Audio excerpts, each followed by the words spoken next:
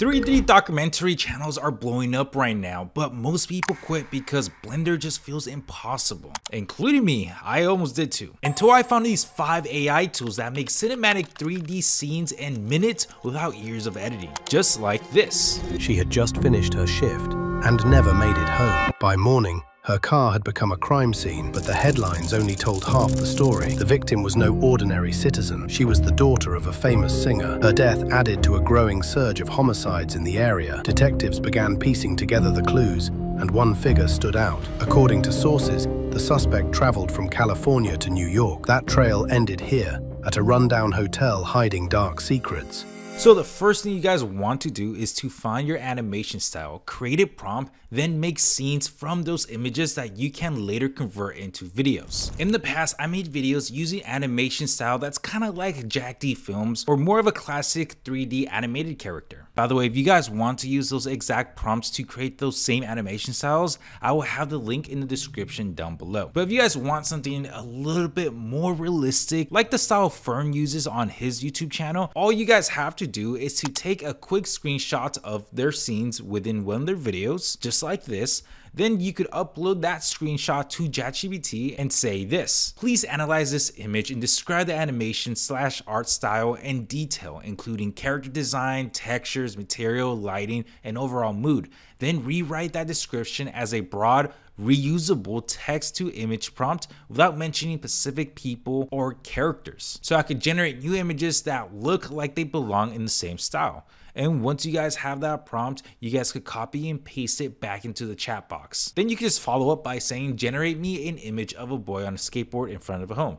And this is just to test it out if the prompt actually works. And before you guys know, you guys will get a result exactly what you guys wanted. You could use the same method to get pretty much any style of animation from stop motion to stick figures or anything in between. The possibilities are endless with this, but now you guys want to generate images for every scene of your video, just like these images that I have here. Then you will need to take those images and turn them into videos where the characters actually move in between scenes and the camera angles flow so naturally. But before we get to that, there are two very important things we need to cover. These 3D documentaries use more than just animations. They have great motion graphics that looks super high budget and cool aerial footage. But if you guys loving these type of tools and want to actually go viral using them, I put together a free YouTube growth secrets community where I break down everything that I learned from scaling multiple channels. This is how I generated over 23 million views and 100,000 subscribers on just one of my channels.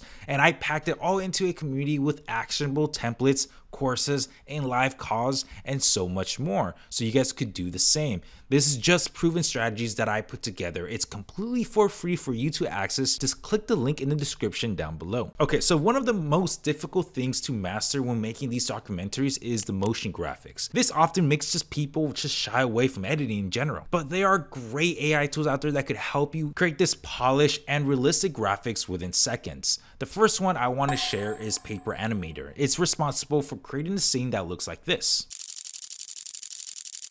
Simply just go to paperanimator.com, the link will be in the description down below, click on text match cut, and on the right side you guys could choose a dark theme or a background style. In this case I'm going to select newspaper, then just type in your text here and instantly you guys will have this professional looking scene.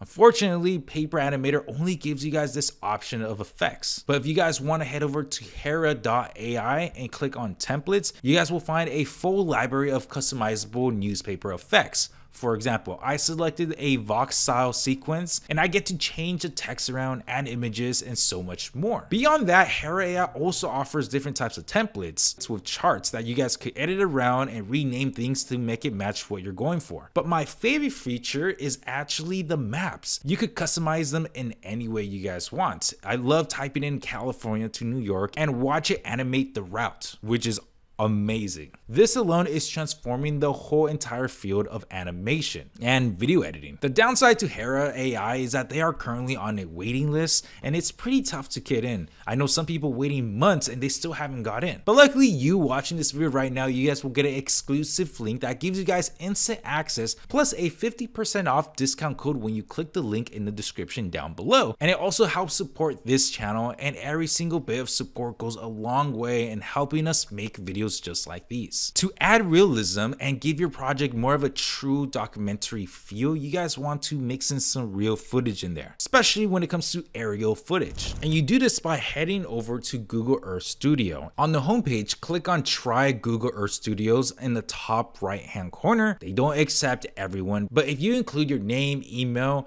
and mention that you're a YouTube creator, you should be fine. I got accepted right away. And once you're in, you have to create a blank project. You can't scroll in and out, but to actually use it, click on attributes in the left hand corner. This adds a keyframe so it could track your screen. And from there, it's pretty simple. Just zoom in, add keyframe, zoom in even more, add another keyframe, and just move around and move to the new location while adding keyframes.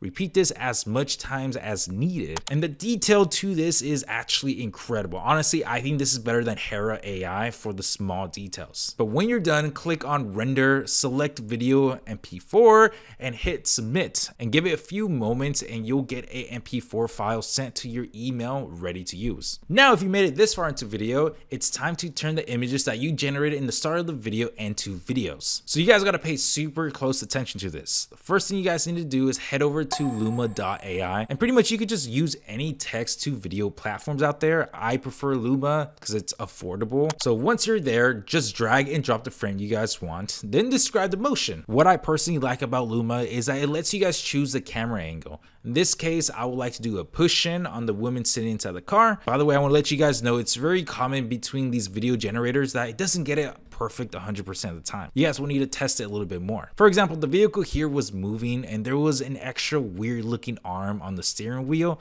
So I just type in make the car parked and not moving and move her hand from the steering wheel. And within a couple of seconds, it gives me this result. It even generated a face for the mannequin, which I wasn't going for, but I actually prefer it. It actually looks pretty good. So I'm just gonna keep it. It's not 100% perfect, but I'm just gonna use the first couple seconds of this clip either way. The next scene is the crime scene of the vehicle. I just upload the image, set the camera angle to pull out, and I have to say this first generation is actually looks pretty solid. Pretty impressed. So now that you guys got the idea how this works, just repeat this process for each scene. And lastly, you guys want to put everything together in your editing software of choice. You guys can use CapCut, but for this example, I'm using DaVinci Resolve. You could add a voiceover. I recommend using Eleven Labs since their voices are the most realistic out there and they don't really sound robotic like most generic AI ones do. And once you have that, you will need to add some music. I actually got mine from Envato Elements. I have this paid subscription for it, which has this great selection music to choose from. You can search what mood you want, and there you have it. And that's it, your project is done. She had just finished her shift and never made it home. By morning, her car had become a crime scene, but the headlines only told half the story. The victim was no ordinary citizen. She was the daughter of a famous singer. Her death added to a growing surge of homicides in the area. Detectives began piecing together the clues, and one figure stood out. According to sources, the suspect traveled from California to New York. That trail ended here, at a rundown hotel hiding dark secrets. And if you're someone that wants to learn how to make money with YouTube, it's never been so easy with the power of AI. I created a list of eight easy AI faces niches that will make you rich in 2025. You could watch that right here.